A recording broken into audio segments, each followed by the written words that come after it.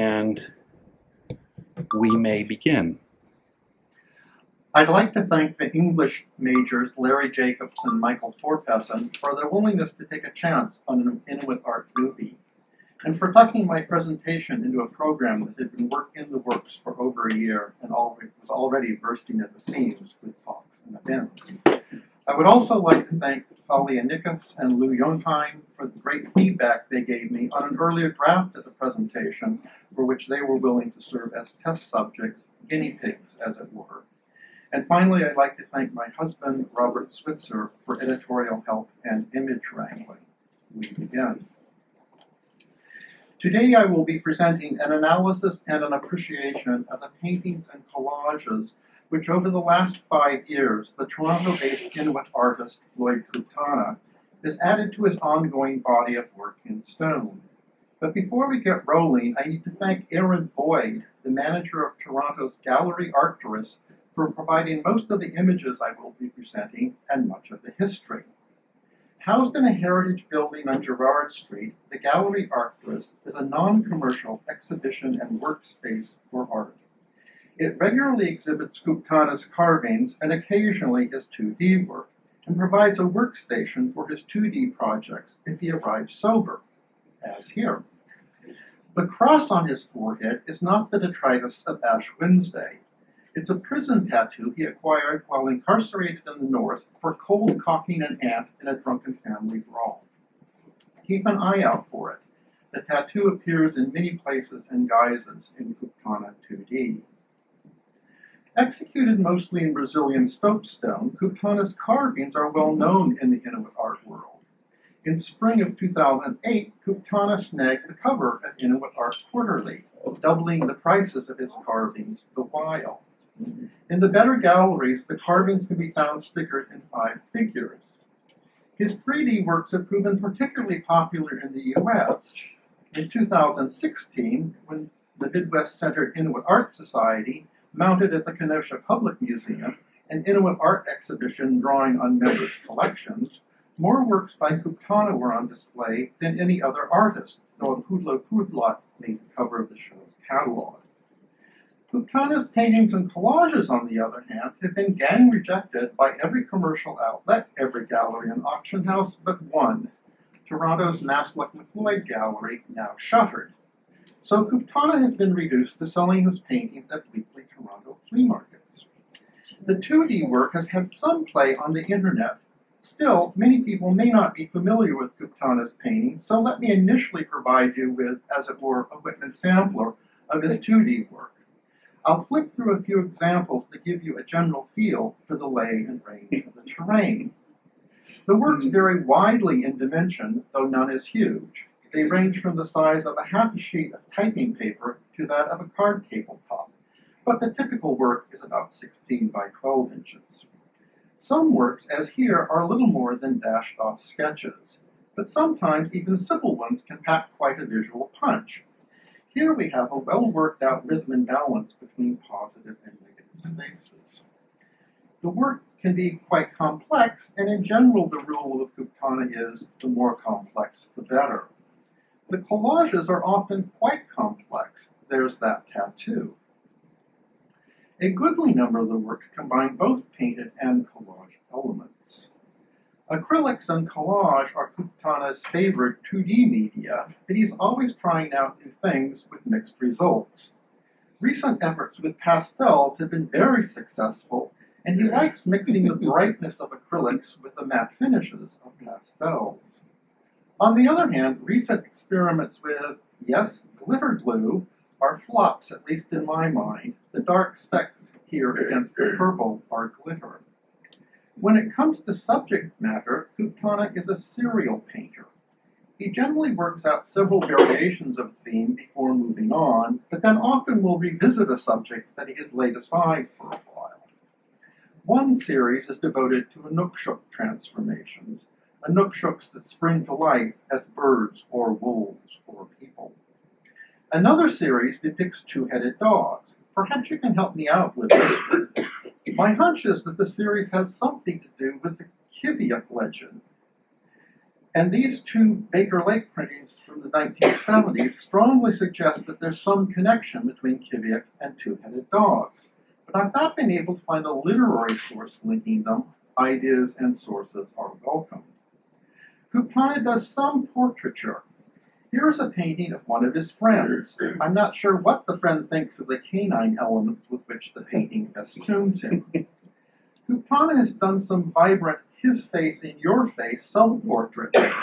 Here, Sedna is executed in silver paint, while Kuptana himself is laid out in gold. He can be, as we will see, rather full of himself. And there's a whole series of radiant, or at least radiating faces of people from his imagination. Not a few of the Kuptana's 2D work draw on imagery familiar from his 3D work, as here, where a figure, frequently a bear or a dog, dances on the moon, which in turn is mounted above a base, in this case an igloo. Here, a decade earlier in stone, is an uncle of his has made a shaman's flight to the moon. And here, a birdman dances on both the crescent and a face of the moon, or something, and perhaps also in the light of the moon. A very successful complex image executed in just a few strokes. In style, the work can be bright and bold. It can be funky and fun and weird. There's the tattoo again. It can be playful and childlike, hmm. even adorable, or not so much. Note that both the paintings have the same subject, a white bird, the two Kuptanas, as it were. The disparity between the galleries embracing the carvings while dismissing the painting is striking, since the painting boosts the energy, wonder, intensity, and strangeness found in the carvings. But explanations for the rejection are not far to seek. For starters, painting barely has a toehold in Inuit art traditions, though Nancy Saunders seems to be working on making it a handhold. Second, in Canada, there is no tradition of the art movement that in the United States and Europe has, with great commercial success, branded itself as outsider art, visionary art, art brut, complete with dedicated galleries, art fairs, and magazines. Yet Kuptana's paintings would fit into the outsider art tradition beautifully. Self-taught, edgy in content and sourcing, out there, funky, bold in effects. Third, many of Kuptana's 2D works, especially early ones, are executed using materials that are worrisome from the point of view of preservation. And in any case, decidedly non-standard for most galleries, though again, not so unusual in the world of outsider art. Some are executed on cardboard, on foam core, on found wood. Note the saw or hatchet marks along the edges here or on ceramics, or on whatever's at hand. Finally, some many people find Kuptana's 2D work scary. Scary to the point of disturbing, off-putting, even horrifying. When I acquired art and circulated this photo of moi holding it, several Inuit Art Society members and many other Inuit art fans all said basically the same thing. Interesting, but how can you stand to live with it in your home? we do.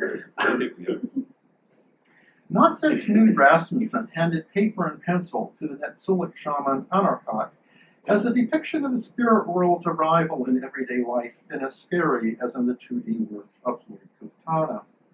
Many of his works seem to come from the same fraught mental states that produced Goya's black paintings the work of the 22 year old Jackson Pollock just prior to his being hmm. institutionalized for mental illness, and these masks made by veterans suffering with post traumatic stress disorder.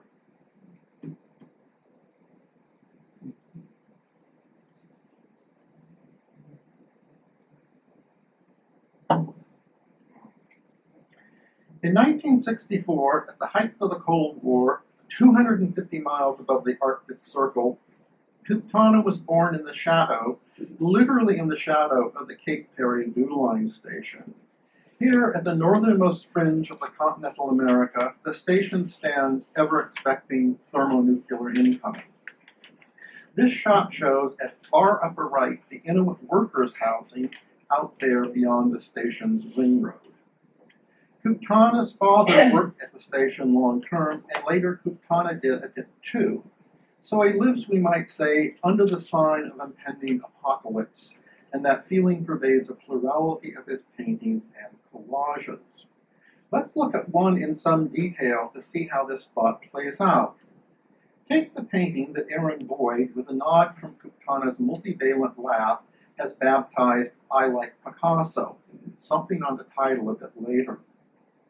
The painting depicts in lurid impasto, at once seductive and repulsive, gilt, pink, turquoise, a spiraling star or galaxy that as it rotates towards the viewer begins cutting like a circular saw into a cosmic skull whose lamprey-like teeth seem poised to bleed the universe dry.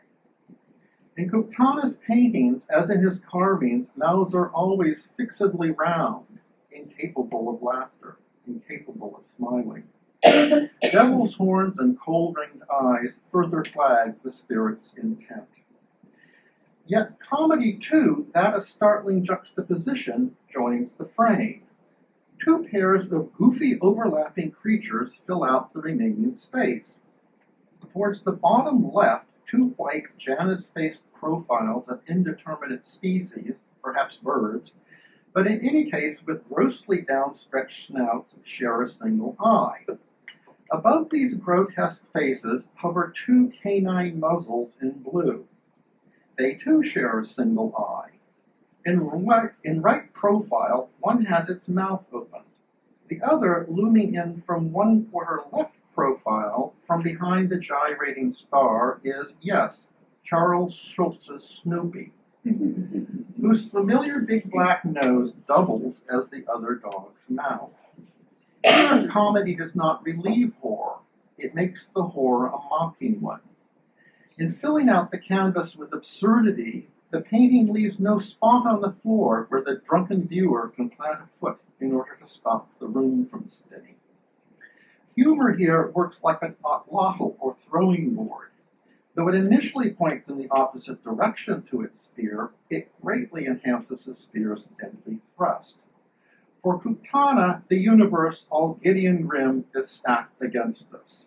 But if we grew up with the stories of Sedna and Scylla and Castle Romeo, how could we see it, have it any other way? My path to Kuptana 2D was through this drawing by him on a playing card a framed enlargement of which was on display at the Gallery Arcturus when I went there because I'd heard rumors that it frequently had Kuptana sculptures worked into its ever diverse, frequently changing displays. At the time, I didn't know that he'd produced any 2D work, and the card was not labeled, but obviously, in light of his 3D work, it had to have been by him. I asked after the card, and it turned out that it was part of a whole deck of drawn and collage playing cards. All the card's collaged elements are cut from a highly eclectic book titled Eskimo Art and Surveying Northern Art from Old Bering Sea Cultures right up to the date, book's date of publication, 1973. A fair reading of the cards is that Kuptana is mocking the entire concept of Inuit art. Note the belittling circumcision, shall we call it, of the E from the rest of Eskimo. Eskimo becomes schemo, upper right. And the playing cards, when collaged with snippets of Inuit art, literally turn Inuit art into a game. Euchre anyone? Kuptana regularly refers to Inuit art as Eskimo art as though he is referring to a charming antiquity or being gratuitously incorrect in the face of contemporary Canadian usage. According to Aaron Boyd, he frequently deflects being called an Inuit artist. This is an old and understandable, but a somewhat tedious fight fought by members of many different culturally marked groups women, Jews, gays, African Americans, and all the other others. I'm not a fill in the blank artist. I'm an artist who just happens to fill in the blank. To me, this always trails a scent of both self loathing and self aggrandizement. At a minimum, Inuit subjects pervade Kuptana's 2D work.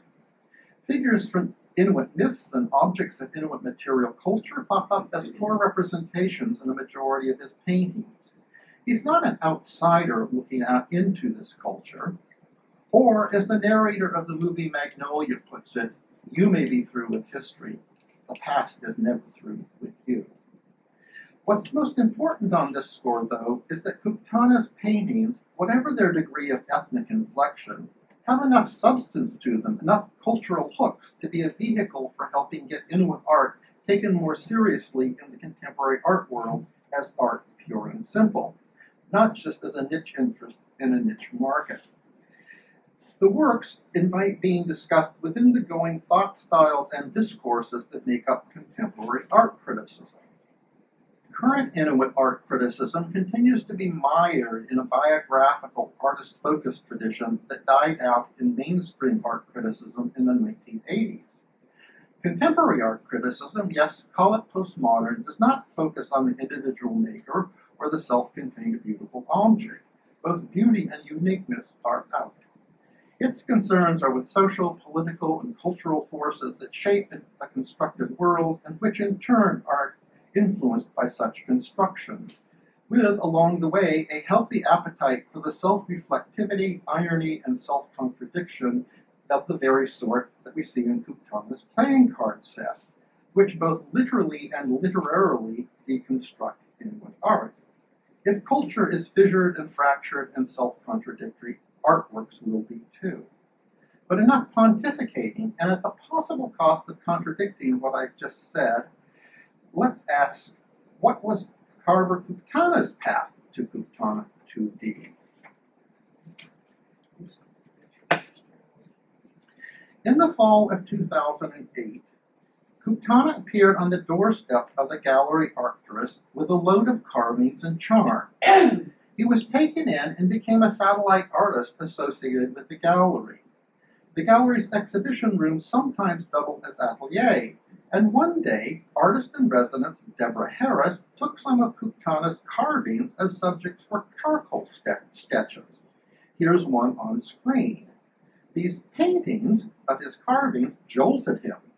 He went home, got some paint, tore apart a coffee table, and painted the top of it, nails still sticking out of the sides.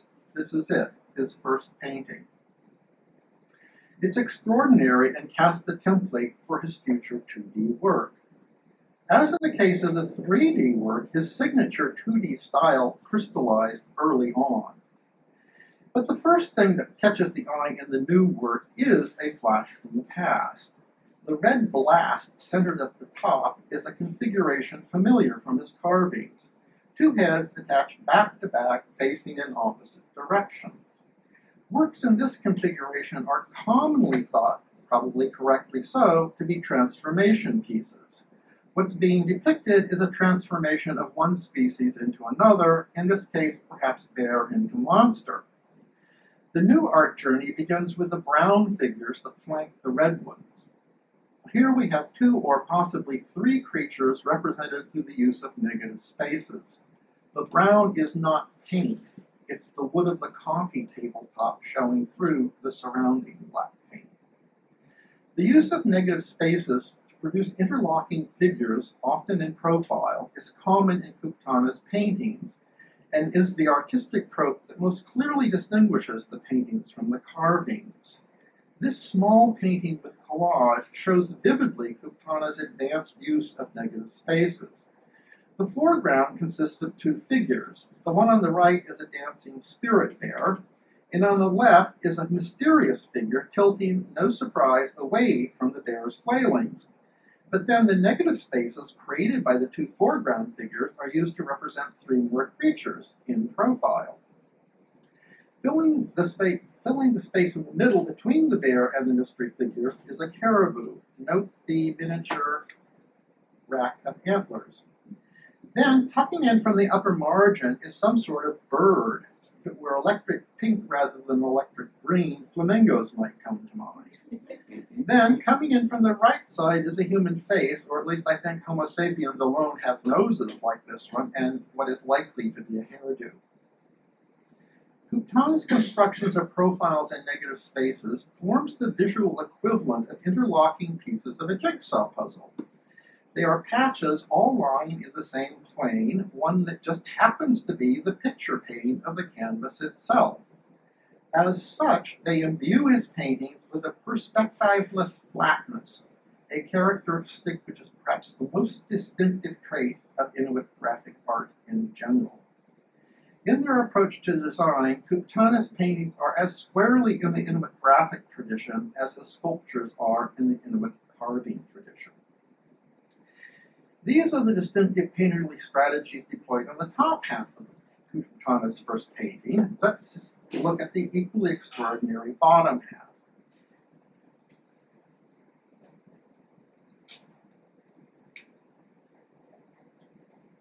Here we, here we find a pile of eyes. They can be read severally as depictions in profile of five F5 creatures, mostly birds, or they can be read collectively as a single three-eyed figure, possibly a bear or dog, facing forward but slightly to the viewer's left, with mouth agape and lower teeth bared. The refracted eyes can't help but make one think of cubism, but cubism, especially analytical cubism, is rigidly rectilinear. So let's call Kuptana's cubism curvy cubism. Hmm. But in any case, the refracted eyes help explain why Aaron Boyd has chosen to baptize a whole series of Kuptana's paintings by like Picasso. The second of the series is on screen, and here is the fourth, which, however, unlike the earlier ones, alludes to a particular painting by Picasso. Kuptana created only one other painting in 2010, or rather half a painting. He not infrequently begins projects which he does not finish.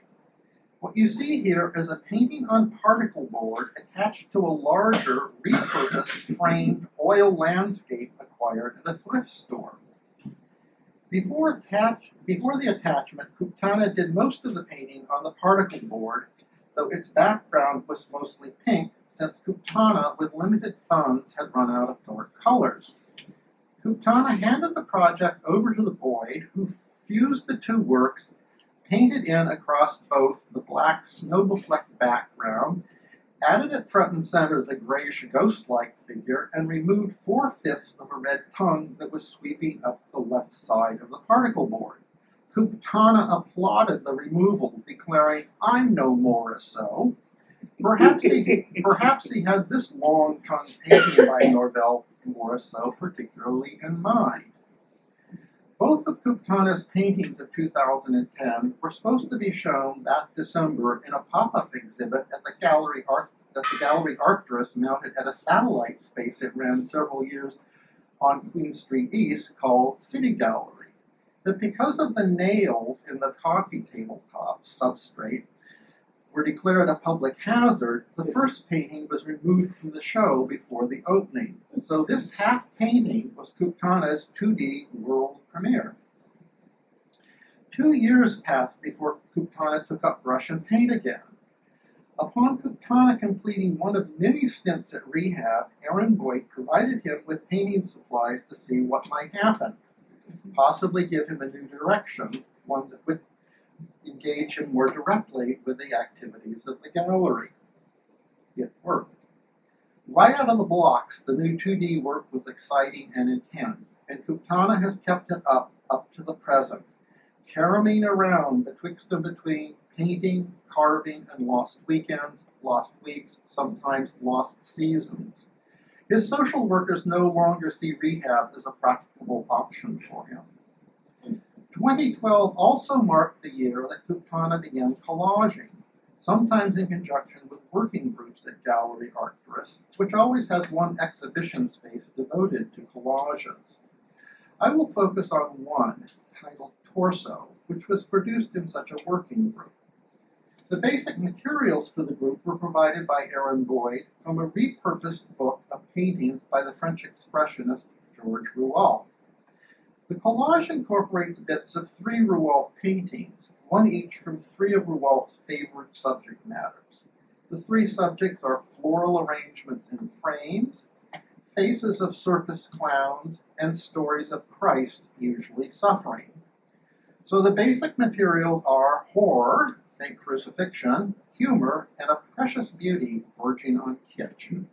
How could such a congress of possibilities not trigger something fantastic from an artist with Kuptanas' record for humor, horror, and cuteness? The torso's attenuated, legs are recycled from the naked arms of a depiction of Christ being mocked. The face is cut from Rouault's painting English Clown, then tilted a bit and multiply collaged over with luscious blonde locks and watchworks for brains. The torso proper seems to have been clipped from a male pinup calendar or such. The fourth subject matter favored by Rouault is prostitutes, and something like this is what Coutan has made as an amalgam of the other three. The collage determinately alludes to the 19th century genre painting known as the odalisque, in which a reclining nude courtesan is posed, spread out, with the very purpose of display and appreciation. Call it salon porn. Only here in the 21st century odalisque, a reclining male nude replaces a reclining female nude. The posed posies at the gentleman's side invite a direct comparison to that most famous of odalisques, Manet's Olympia. In each painting, the nude is saying, I'm a flower plucked for your delectation. Michael Forpesson, in his essay for the Kenosha Public Museum's Inuit Art Catalog, is the first critic to have pointed out culturally anomalous gender representations in Kuptana's carvings.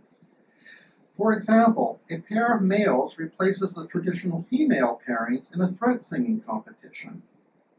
Male pairs had song competitions, but the performances did not involve singing simultaneously nor mouth to mouth.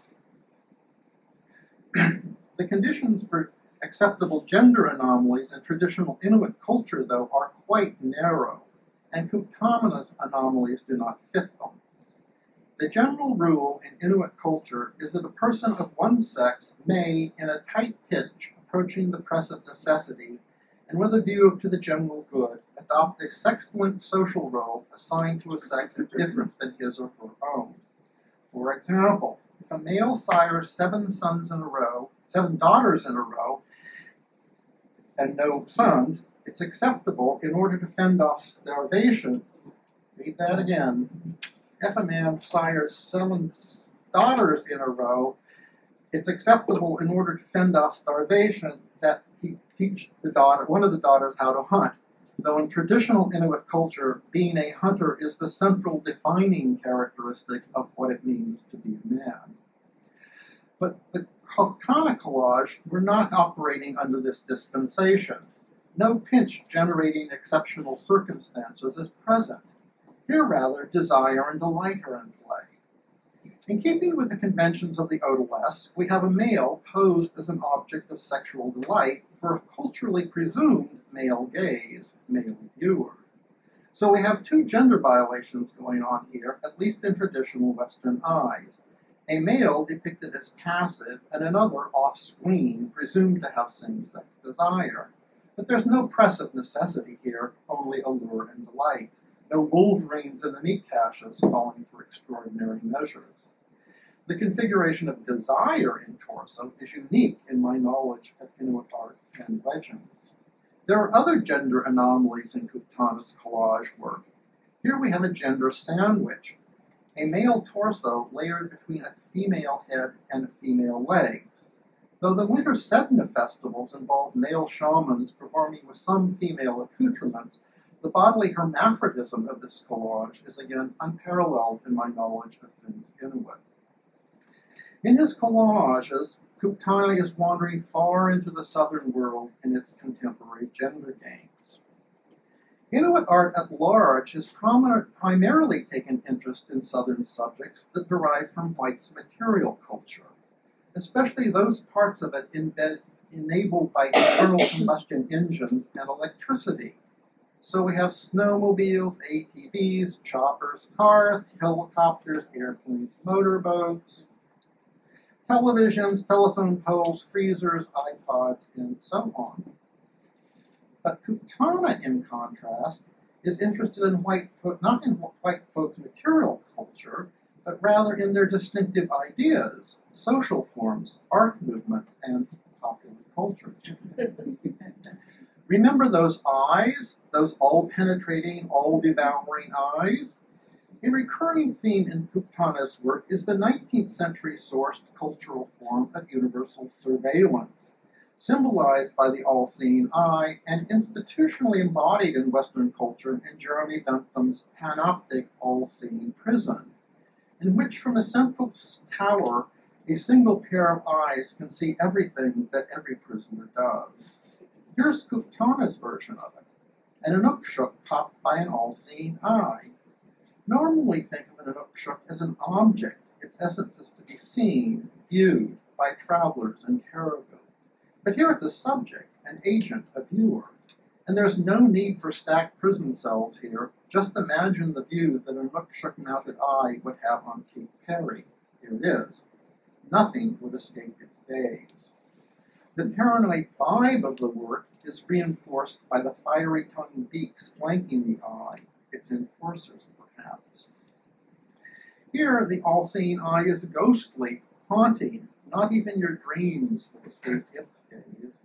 And here, shades of Edgar Allan Poe or the Borg, someone is entombed within the all seeing eye as it looks to devour the universe. You will be assimilated. Resistance is futile. Kuptana has taken several dives into distinctively American pop culture, dives so deep, so deep as to be unparalleled in Inuit art. Kuptana painted this homage to the polyvalent rock star Prince after Prince overdosed in the spring of 2016. The memorial painting depicts Prince as at once childlike and bedeviled. Sound familiar? The chords from Prince's Fender Stratocaster are flower powered and his forward-facing visage, visage is painted the colors of candy. But a wolf or such bites into him from the upper left, while a red devil confronts him at lower right. The devil's menace seems to be winning out over innocence. In another cubistic gesture, Prince is, has a second face, in right profile, one that mirrors the devil's profile. Prince's elbow rests atop a black ringed white slab, that could easily be read as a tombstone, one whose black text simply but exhaustively reads X, crossed out, cancelled, no more. If the X object at the lower left is a tombstone, perhaps the mysterious ladder-like object at upper right hints at something salvific. If so, it would be in keeping with Kuptana's title for the picture, Propel Rain a misspelling of the title of Prince's most famous song, one that sings of efforts to maintain faith in God and humanity as the world ends in apocalypse. The purple of the rain is a mix of the red of our blood and the blue of the heavens. But when I asked Aaron Boyd if Kuptana was religious at all, his answer was a blunt hell no. Kuptana has taken an even deeper dive into American pop culture, paradoxically by way of Van Gogh's The Starry Night. So? He's used the famous painting as a backdrop for his commercially most successful series of paintings, ones that superimpose Snoopy and his doghouse front and center over the 1889 painting. But the idea for the pairing of famous dog and famous stars is not original to Kuptana. He got the idea, swiped it, from an early 2000 advertising campaign by the insurance company MetLife, which licensed Snoopy as its mascot for some 30 years. Note that the ad uses the Van Gogh painting as just any example of an old master which in art historical terms it actually isn't, but no matter. What's important as far as the ad goes is that it's just any old famous painting. Kuptana steals the idea, immature poets imitate mature poets steal, and makes it his own. Of the 30 members of Kuptana's open-ended Snoopy Starry Skies series, this painting is the most complex that I'm aware of. Usually in the series, the alignment of Kuptana's star to Van Gogh's is nonchalant, sometimes a merely gestural, if still obvious, reference to the famous painting. But here, Kuptana very carefully matches up the stars, though at one point his forehead tattoo stands in for one of Van Gogh's stars. Kuptana is, as it were, Snoopy's astral projection, his essence, his soul, while Snoopy in turn is Kuptana's emanation, his presence on the material plane of existence. With this paint, painting's exacting alignment of stars, Kuptana invites additional detailed comparisons with of its appropriation to its source. And this is what we get when we take up the invitation. Snoopy is being cast as a shaman. His doghouse replaces Van Gogh's church. In the MetLife ad, the substitution was a mere accident because the Van Gogh itself was an accident. Any old master would do. But the very same substitution without alteration, when Kuptana is viewed as part of the context, remember that tattoo, becomes a matter of design. What makes for religion in France makes for shamanism in the North. And if there's any doubt that Snoopy is a shaman, here we have substituting for the cypresses that raise the earth to the heavens on the Van Gogh canvas, a canine or perhaps lupine helping spirit who sweeps up and protectively over Snoopy, accompanying the skies of trance. From the source painting, we know that the star at the uppermost right is actually the moon, note the crescent. Before becoming a mascot for MetLife, Snoopy was the official mascot for the safety programs of NASA's Apollo missions and informally served as the mascot for the entire United States effort to send humans to the moon. Here, Snoopy's familiar is already halfway there. and say, what's going on down here at the lower right? Van Gogh's land has been replaced by an ocean that in turn is filled with an imposing, vengeance seeking fish. Soup, Snoopy is super shaman. He's so stupendous that he can, faithful and true, simultaneously travel to both the cosmic planes where shamans usually travel in their quest to help humanity, to the moon and to the vengeful sea goddess Sedna. As we've seen, Kuptana identifies with Snoopy, whose seance is held under the sign of Kuptana's sign of the cross. Here, the non religious Kuptana creates a messianic persona for himself. Once, when things were not going well with him at Gallery Arcturus, were devolving towards violence, and the police had to be called, he stormed out just in advance of their arrival, shouting on his way out the door, I am God. So grand and yet what a hoot. Inuit artist as iconic all-American dog on the moon. What in the end are we to make of the bundle of at least seeming contradictions that Floyd Kuptana artist? Are we to conclude that there are two irreconcilable artists here, that this artist, or at least his art, is bipolar and schizophrenic? Not quite. Consider the greatest, but the least discussed and represented of the Inuit divinities, Sila. The spirit of the air, weather, the outdoors, of the cosmos, of existence in general, of breath, and so of life, of what is fundamental. Sila is sometimes figured as the baby giant Narsuk, who, like Sedna, is at core bent on revenge against humans in his case, because humans killed both of his parents, mocked him, and left him abandoned to die, at which point he ascends to the heaven to become Sila, mirroring Sedna's descent into the water world to become the sea goddess. Starvation inducing storms, sometimes months long, result from Narsuk's unhitching his diaper and letting it flap about. But Scylla also has a more abstract, numinous yet mostly impersonal form, especially in Alaska, from which Kuptana's immediate ancestors hail.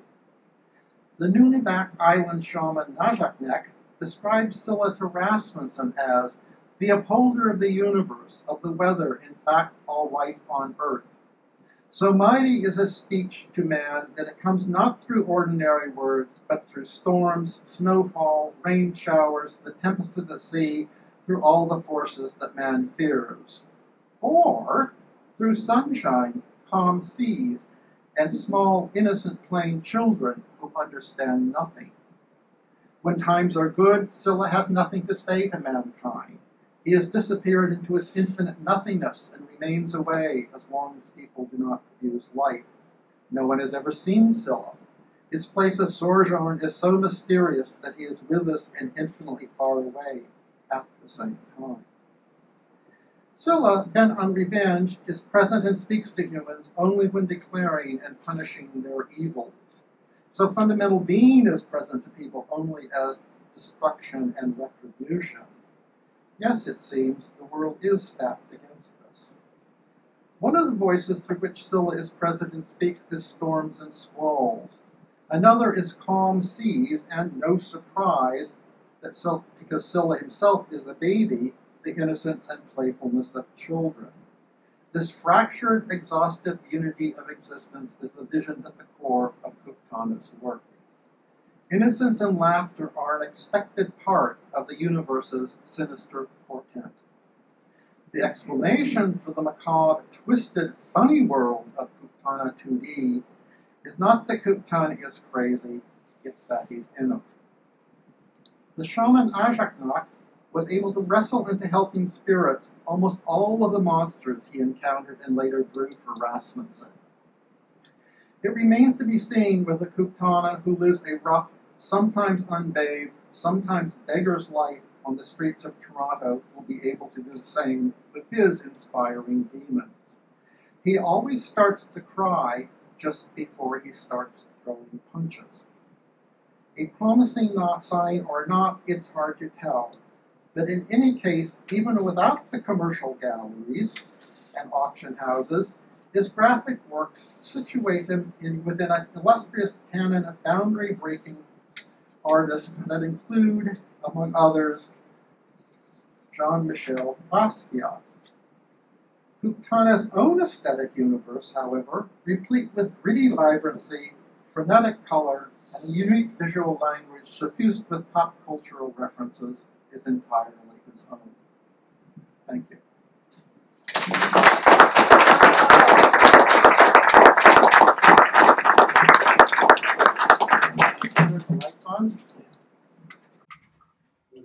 Questions for Richard? You might take a moment to explain who Flippin' Uncle Charlie is. Uh, most of the car- most of the carvings that Kuptana does are done at David Abrahams, who lives about what, 60 miles north of Toronto. And there's sort of a friend of the family up there referred to as Uncle Charlie, and Floyd can't stand him.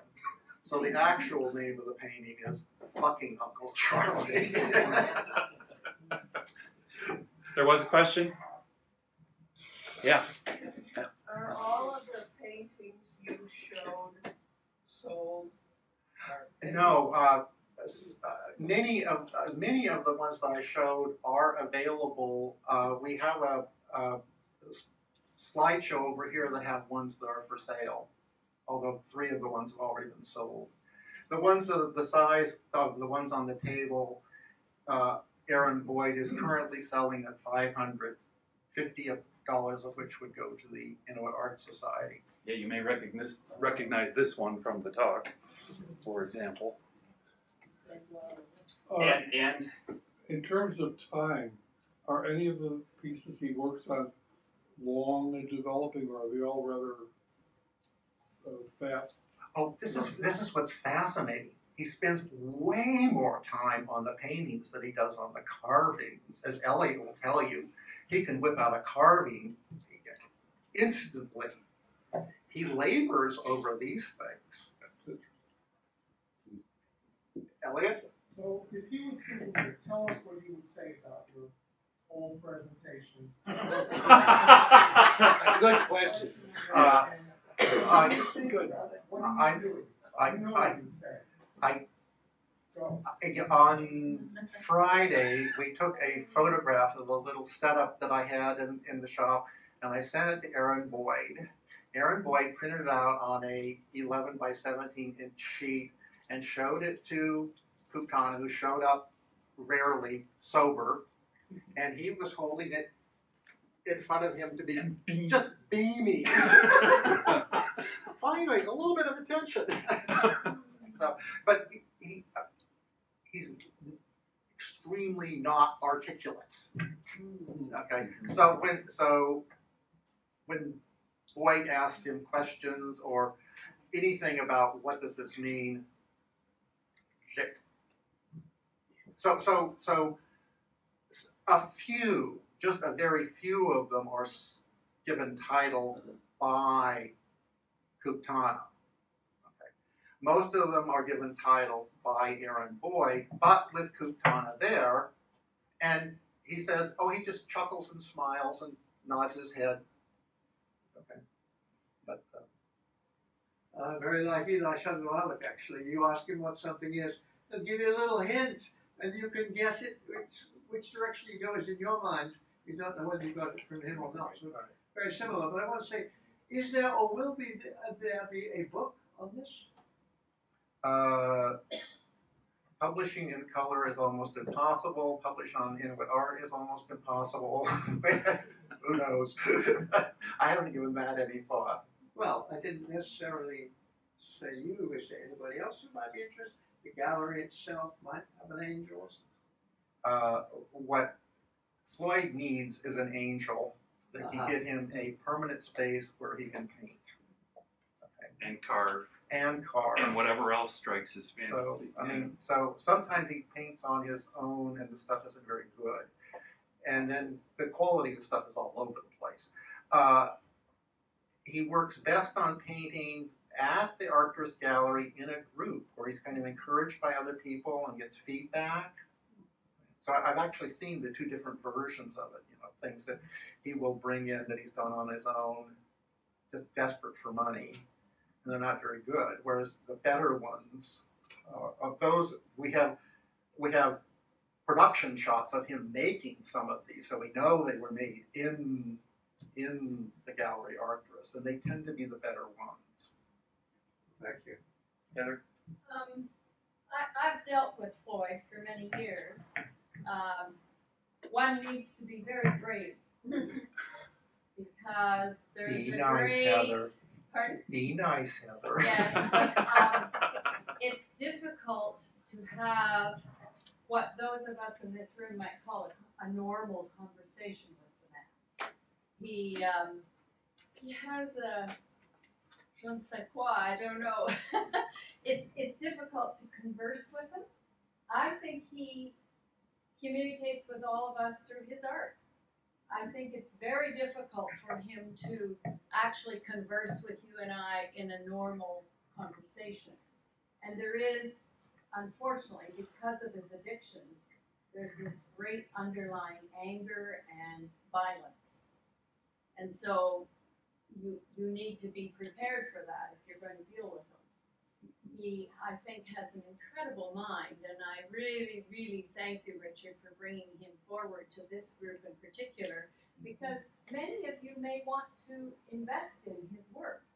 And I encourage you to do that. This is the next generation, if you will. This is a man with a, an incredible mind, um, but with with serious addiction issues and anger.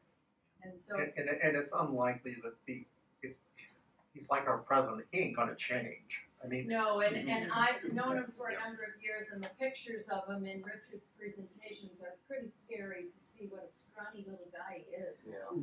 I mean, he's he's not at all well. Carl? The, the state of things, what you described, there's not much interest in galleries and the, the le- has there been any shift at all over time of Oh.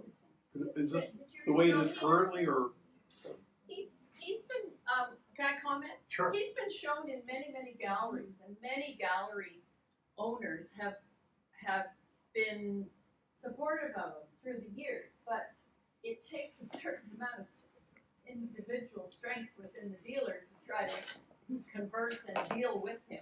The, the carvings are all over the place. Yeah, there are many, many. The paintings had only been, been carried Yeah. by Maslak McLeod, at the gallery that went under in the Morrisseau fraud case.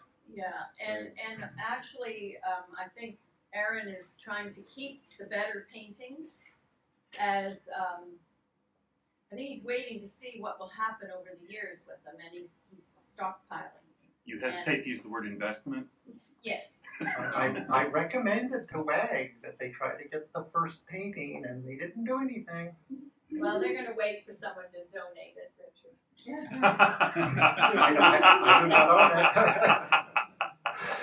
Sheila?